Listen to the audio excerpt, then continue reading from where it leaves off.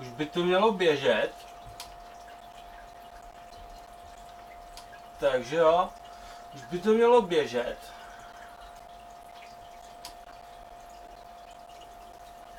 Hmm.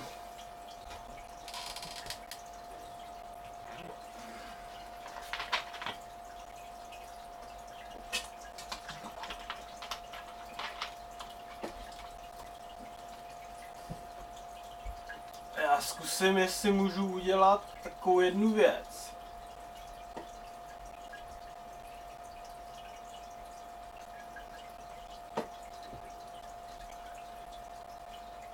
Zakázat monitor a přidat